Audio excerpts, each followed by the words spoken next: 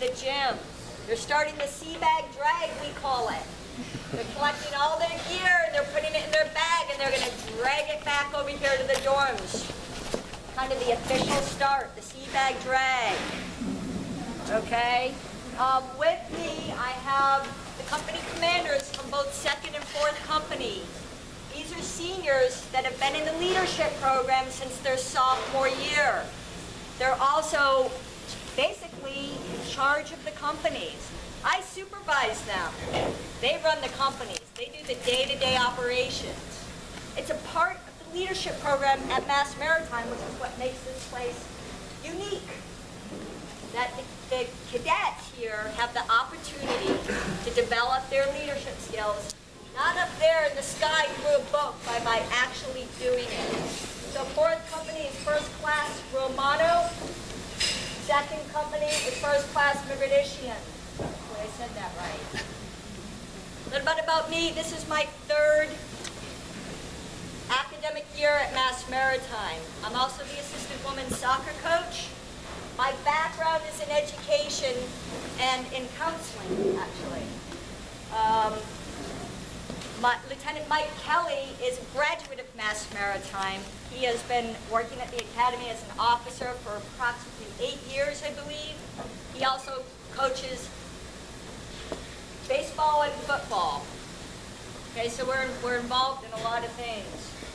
Um, my goal as a company officer basically is to provide coaching, mentoring, and developmental opportunities for your cadet candidates.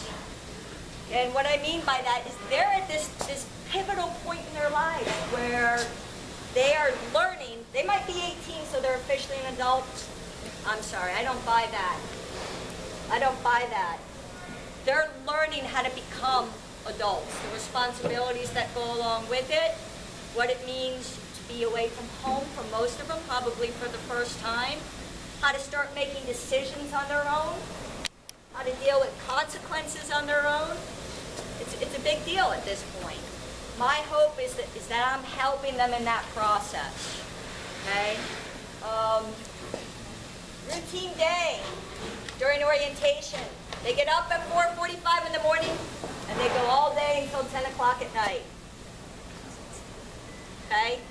That's orientation. That's for two weeks. This most likely will be, for most of them, one of the hardest things they've done up to this point in their life.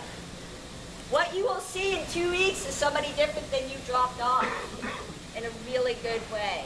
It's amazing to see the transformation, okay? Orientation is different than the regular year. In The regular year, not saying that it's not regimented and strict, but it's a little bit different. Regular year, we get up at about 6 o'clock in the morning, go until about 10 o'clock, there's time off in between. Okay? Um, the cadet leadership. We have six senior officers, and then we have 12 junior squad leaders. Your kids have a lot of support if they need it. Not only in learning about what is expected of them from the regiment, but also, hey, I'm having a hard time with my roommate. They can reach out to their squad leader and, and get help and support around that. Hey, I'm struggling in math. Well, you know, I can help you or I can help you get set up at the tutoring center. It really is about supporting. There's a lot of support system. One thing I will tell you is that there is a chain of command. We are regimented.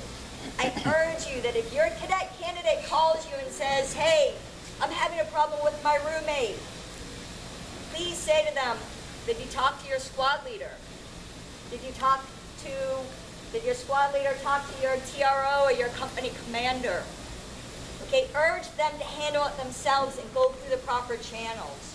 I am by no means not saying don't call me if you have a concern. Please do. I'm always available. I have my cards up here. But put it back on them to figure out how, how to handle it, how to do it, and use what is in place. Okay? I'm going to have them explain the leadership, the structure of that a little bit more. Good afternoon. I'm First Class Michael Romano. Uh, I'm the 4th Company Commander. And I just want to stress to you all that uh, I know Mr. Migravichin and I, our staffs, are trained not only for orientation to support uh, the cadet candidates, but throughout the year. all of them have gone through training to um, help the kids out, not only with their academics, but with the regimented side of this academy. It's a hard switch for the cadet candidates at first, but by no means are they on it, are they in it by themselves.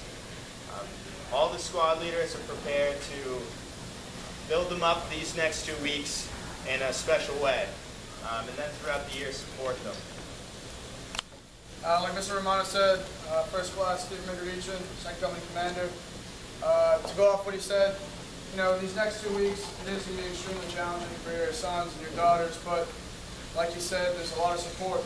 The squad really want them to excel exceed in every single way, academically, mentally, physically. Um, so I'm sure they'll get through it. I'm sure as parents, they've done a great job raising them to get to this point. And um, so we're just going to really test them to see how far they can go and see how much they can do. Because they're going to be challenged in ways that they've never been challenged before. And it's really exciting at the end of the two weeks to see them really, to see how far they've, they've, uh, they've developed and, and uh, matured as young men and, and women. So um, I wish them all the best. Uh, the blogs that we'll be writing, uh, they should be on the website every single night. So you check out maritime.edu. Uh, you'll see reports from us on a uh, daily basis, explain to you what your cadet candidates are going through what they're doing out here on campus. Uh, Mr. Add?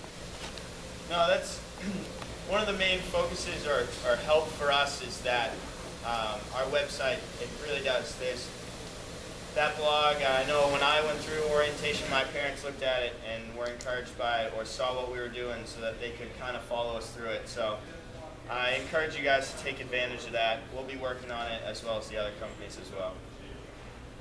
There's pictures on there as well.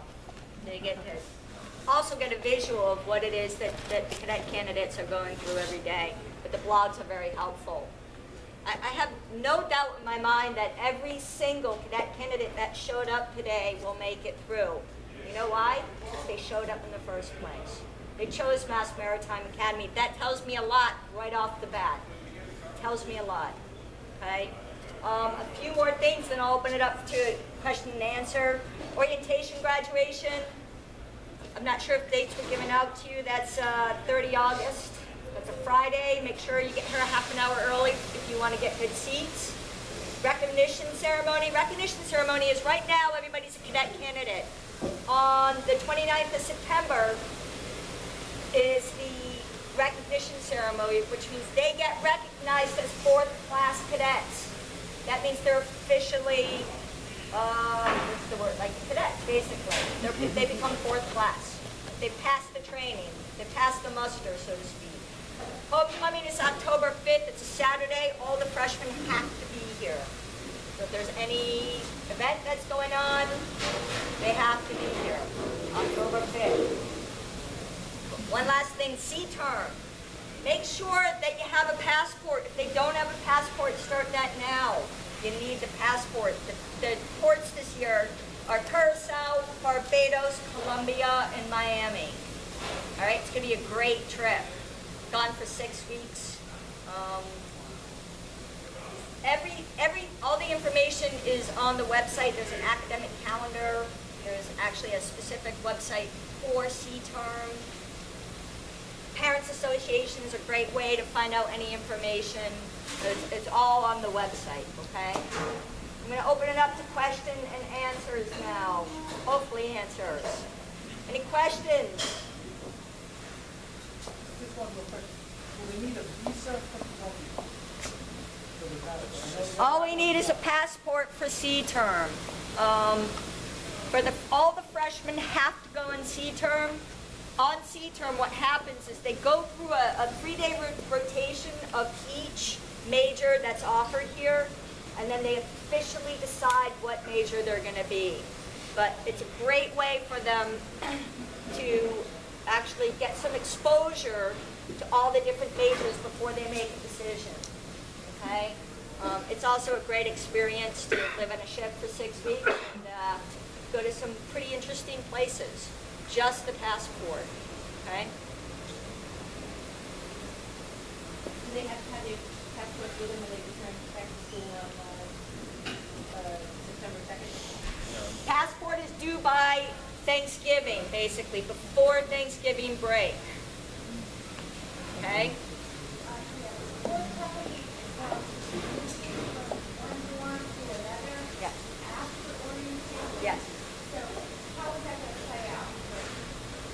Smoothly.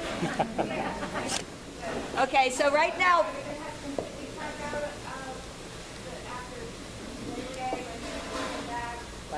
When, so, right now, Fourth Company is living in a temporary dorm because of the construction. Um, we graduate on August 30th. We cannot go back into Fourth Company until September 1st. On Monday, all the freshmen have to report back on Labor Day, which is Monday, at 4 o'clock at 1600. On that day, they will get their key and they will go into their permanent room. I know it's, it's a bit of a juggle because they can't, I wish, I wish I had the possibility just to have them bring their stuff into the room, but we, we don't have access unfortunately. Right. If you're out of state, we have out-of-state storage, but I can't do it for every single cadet in my company. Okay? We're, out- we're out of state, so, um, everything that we have in the new building, is that going to be able to be stored If you're from out of state, yeah, we can store it there. If you're from out of state, we have out-of-state storage. That was the question, okay? Um, we're also from out of state. I was wondering what, uh, day and time uh, orientation officially ends. We were wondering, I- I've got my daughter's cell phone, and her charger, and I was hoping that after orientation, she would contact us to let us know what else she needs us to bring to, from New Jersey up to her. You're asking when they get their cell phones back? Well, I'm at- wondering if I could leave it with her commander and have her give it to her after orientation ends, depending on when it ends. Right, um, basically orientation, um, tonight, any con- contraband will be taken from the kids, um, and put in a, put in a bag and secured in the office. Once orientation is officially over and the, the, um, ceremony is at, at twenty hundred, at eight o'clock at night. So we should be done by nine o'clock at night On August thirtieth? on Friday, August 30th. Right, there's a marching, right, there's a marching competition at 1830. 2000 is the actual ceremony, so it's about an hour. So they can't have their cell phones until after? Prior to that, no. But 9 o'clock at night will be when it's over. Ten or eleven. Yes. They have to be back on Monday, the seventh, school doesn't start, I mean, I'm sorry, they have to be back on Monday, because school doesn't actually start on the first day. So it's late on Uh, there's a, the, the- freshmen, the cadet candidates come back on Monday. Classes start on Wednesday. The upperclassmen come back on Tuesday. There's actually an academic orientation for the freshmen. the cadet candidates. I'm sorry? They go through a process in the academic side, like it's situated over there. Um, it- it's-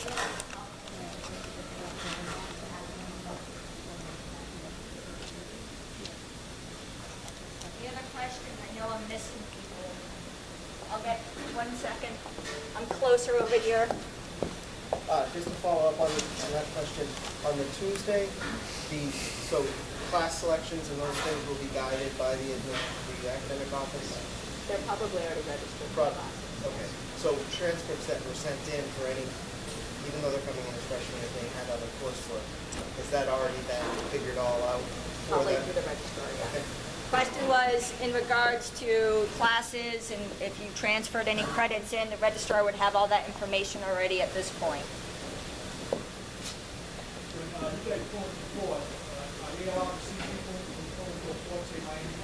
Question was, when we go on sea term and we're in port, are they allowed to see family? Yes. Cannot get onto the ship without permission from the master, that will not happen, quite frankly. But be able to see them out, you know, meet them outside the gates of the ship, obviously port security is pretty high anywhere you go, for obvious reasons. But yes, the only thing that you need to be careful of is, so we pick these ports. We get approval from the state, right? there are times that our ports get changed. Whether we didn't get clearance to go in, whether something happened last minute, it happened this year. So we were planning on going to Barbados. It did not happen. We ended up in Puerto Rico. There were a few people that were meeting their family in Barbados. No, they weren't. Okay? It does happen. I'm not saying don't do it. It's rare, but just be prepared that that's a possibility. Okay? But by all means, if we're in Miami and you fly down to Miami and they, they'll have two days off in port, and then one day they're on watch. Okay? That's no matter what, what division they're in, that's how that works. Let me get back your first question.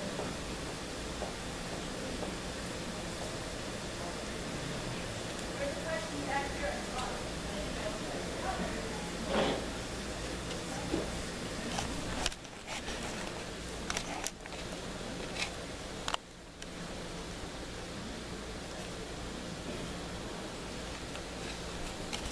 Those candidates in second companies, they're in their permanent room. So when they leave for orientation, they don't, they, they don't have to take everything out of the room with them. Second company is in their permanent room. Only fourth company where we're gonna be shifting. Okay?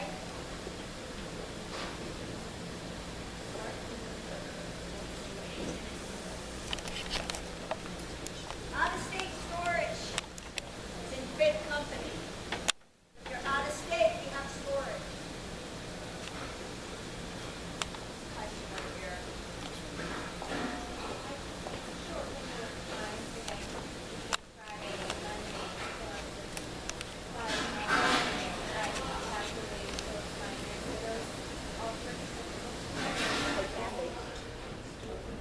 They, um, there'll be time, so if they need books, usually the teacher, once they get to their first class during either, uh, once academic year starts or their academic orientation, they'll give them a list of what books are needed, and they can use the bookstore to get all the supplies that they need.